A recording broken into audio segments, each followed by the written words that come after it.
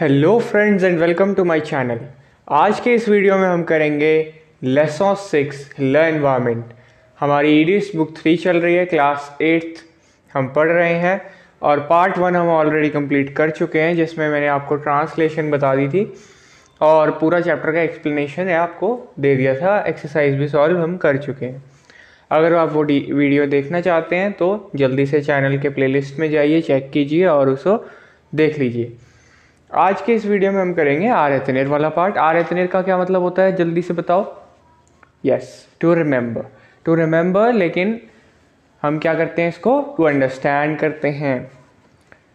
इस चैप्टर में हमारे पास आर एतनेर वाला पोर्शन दो पार्ट्स में डिवाइडेड है। एक है प्रेपोजिशंस और एडवर्ब्स और दूसरा है एक्सप्रेशंस ऑफ़ नेगेशन तो दोनों पार्ट्स को हम अलग अलग स्टडी करने वाले हैं और दोनों का अलग अलग मतलब होने वाला है। मेरा मतलब है कि इसमें आर इतने का मतलब टू रिमेंबर ही रहेगा, सबसे पहले वाले में। सेकंड वाले में इसका मतलब आधा तो टू रिमेंबर है और टू आधा अंडरस्टैंड है। पहला है प्रपोजिशंस और एडवर्ब्स प्रपोजिशंस और एडवर्ब्स क्या है? मैं सिर्फ़ इसका मतलब समझा देता हूँ। प्रपोजिशंस क्या है? जैसे कि आप इंग्लिश में भी पढ़ के आए हैं ऑन अंडर ऑन हो गया अंडर हो गया इन हो गया फोर हो गया आउट हो गया राइट right हो गया लेफ़्ट हो गया नियर फार ये सारी चीज़ें क्या है प्रपोजिशन हैं। अब इनको फ्रेंच में क्या बोलते हैं, ये आपको याद करना है। और कुछ इनके ऑपोजिट्स दिए हुए हैं पेज नंबर 68 पे आपके। एक तो उन ऑपोजिट्स को आपको याद करना है, जैसे सूर का सूस, दवों का देरियर, देदों का देहौर, औदे सूदे का औदे सूदे, प्रेदा का लुआंद, अगोश्त आद्रुआद दो हौर्द पूर, कौंत्र, आवों, आपरे आवेक और से। ये सारा आपको याद होना चाहिए, प्लस इनके मीनिंग्स भी याद होने चाहिए। अब आपको ऑपोजिट्स तो बुक के अंदर दिए हुए हैं, लेकिन इनके मीनिंग्स कहाँ से लेंगे आप? मीनिंग्स के लिए आपको रेफ़र करना पड़ेगा मेरा पीडीएफ मैंने इसके सारे मीनिंग्स की एक पीडीएफ बना दी है, इस पे, इसके भी और एडवर्ब्स के भी। आपके राइट साइड में, यहाँ पे बुक में आप देखेंगे तो एडवर्ब्स भी दिए हुए हैं। एडवर्ब्स के ऐसे एक बॉक्स बना हुआ है। वो सिर्फ़ फ्रेंच में लिखे हुए हैं। उनके इंग्लिश में मीनिंग्स मैंने उसमें टाइप्ड फॉर्म में एक ऐसे ही टेबल बना, बनाया। आपको एक पीडीएफ में डाल के दे दिया है, जिसे आप लिंक जो डिस्क्रिप्शन में मैंने दिया है, वहाँ से जाके आप डाउनलोड कर सकते हैं पीडीएफ को, और वहाँ से आप इसको लर्न कर सकते हैं। एक ट्रिक जहाँ पे मैं जो बताना चाहूँगा, जो आप मेरे चैनल पे आकर सीख रही है तो आप वैसे भी लर्न कर सकते थे। कि इसको याद करने के बाद आपने क्या करना है अपनी एक पेंसिल या पेन उठाना है, जो भी आप बुक में जिससे भी लिखना प्रेफर करते हैं। और उसके बाद यहाँ पर जैसे मान लो यहाँ लिखा है सूर और सूस अब सूर का आपको मतलब पता चल गया ऑन है। तो आपने यहीं पे साइड में ब्रैकेट बना के लिख लेना ऑन। और सूस अंडर। ये आपने देख के नहीं लिखने। ये आपने ब्रैकेट्स में अपने अपने टेस्ट की फॉर्म में लिख देना है। लर्न किया, लिख दिया। लर्न किया, एक लाइन फिर लिख दी। फिर इसके बाद ये लिखने के बाद आप क्या करोगे? उसको पीडीएफ में से चेक करोगे।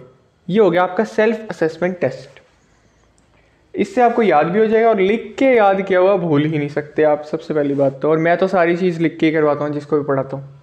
तो अगर आप मेरे अच्छे स्टूडेंट हैं तो आप इसे लिखेंगे और लिख कर जो भी आपके मार्क्स आएँगे, कोई भी एक मात्रा भी हो तो आपने हाफ़ मार्क काट लेना। कोई भी एक एक्सेंट आप भूल गए हो तो। और फिर उसके बाद आप कमेंट्स में बताएँगे। और ऐसे ही आप एडवर्ब्स का करेंगे एडवर्ब्स के भी आप ब्रैकेट्स में या फिर इक्वल टू डाल के कहीं पे लिख लेंगे। जहाँ पे भी आपको जैसे भी सूटेबल लगे, वैसे आप लिख लो कि अगली बार आपको पीडीएफ ना खोलनी पड़े, सीधा बुक में आप लर्न कर लो बुक में से।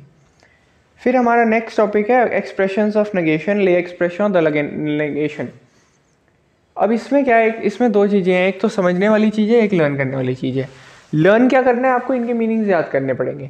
जैसे यहाँ पे एक एक्सप्रेशन है कैल्क शोज़ कैल्क शोज़ का आपको मतलब ही नहीं पता जबकि समथिंग होता है कुछ या फिर नथिंग को क्या कहते हैं रिया कहते हैं तो तब तक आप इनको यूज़ ही नहीं कर सकते हो या फिर कहीं पे यूज़ हुए होंगे तो आपको पता ही नहीं लगेगा इनका मीनिंग क्या है तो इन्हें कैसे यूज़ करना है ये आपको समझना है लेकिन इनका मतलब आपको पहले से पता होना चाहिए अब मान लो समझने के लिए आपको सबसे पहले क्या फॉर्मूला याद होना चाहिए फॉर्मूला क्या है कि आपको ज त्यू इल इल्स एल एल्स नोज़ या वोज इन सब में से कोई ना कोई एक चीज़ मिलेगी सबसे पहले। वो कुछ भी हो सकता है, जैसे यहाँ पे एग्ज़ाम्पल में त्यू लगा दिया। प्लस इसके बाद क्या करोगे वर्ब को कॉन्जुकेट कॉन्जुकेटेड फॉर्म में आप लिखोगे, जैसे त्यू के साथ मॉइश तो मॉइश में ई एस पूरा। इन्फिनेटिव फॉर्म में नहीं लिखना है, जैसा कि हम पिछले चैप्टर में फ्यूचर सिंपल में लिख रहे थे, अगर आपने पढ़ा तो। वहाँ पे हमने इन्फिनेटिव फॉर्म लिखा था, इसमें कॉन्जुकेटेड फॉर्म लिखनी है।